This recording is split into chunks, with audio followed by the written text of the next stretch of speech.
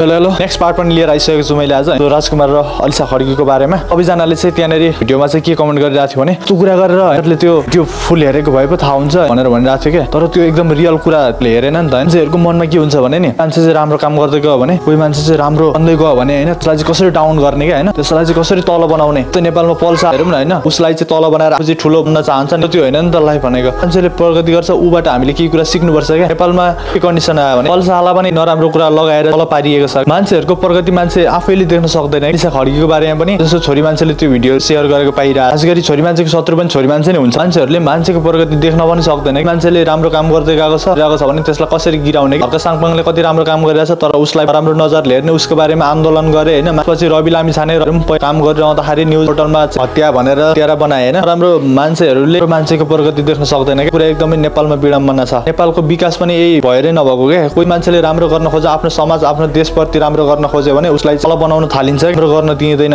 हामी भन्छौँ कि मान्छेको मन बुझ्नुपर्छ। मान्छेलाई सपोर्ट गर्नुपर्छ। यदि उसलाई हामीले सपोर्ट गर्यो भने यसको विकास पनि हुन्छ। समाज समृद्धतर्फ पनि जान्छ क्या। त्यही भएर हामीले मान्छेको प्रगति लाइफप्रति हामीले कुदृष्टि लगाउनु हुँदैन क्या। उसले जे गर्छ त्योबाट हामीले सिक्ने हो नि त होइन? त्यो कुरा हुन थाल्छ क्या। अलिसा खड्कीलाई चाहिँ होइन एफएक्स युज गरेर फेक भिडियो बनाउने मान्छेहरूलाई पक्रिसकेको छ। पुलिस रिपोर्ट गरेको थियो। उनीहरूले पक्रिसकेको छ। एकदमै खुसी लाग्यो होइन? भाइहरू चाहिँ धेरै ठुलो पनि होइन? सानो भाइहरू। यदि उनीहरूको भिडियो मन पर्दैन भने नहेर्नु क्या होइन? त्यो ठिक हो नि त। तर त्यो अर्कालाई गिराउने अर्को चाहिँ नराम्रो बनाउने किन गर्नु होइन? तिनीहरूले चाहिँ वाट्सएप वाट्सएपमा भिडियोहरू चाहिँ सेयर गर्ने। बाह्र वर्षभन्दा माथिको एउटा फुच्चे भाइले टेलिग्राममा चाहिँ भिडियो सेयर गरेको यो चाहिँ इन्डोनेसिया केटीको बडीमा चाहिँ युज गरेको पाइयो क्या। नगरिदिनु न होइन? त्यही भएर नराम्रो कुराहरू राम्रो कामहरू प्रति तपाईँहरू सचेत रहनलाई भन्न चाहन्छु। हस्त बाई बाई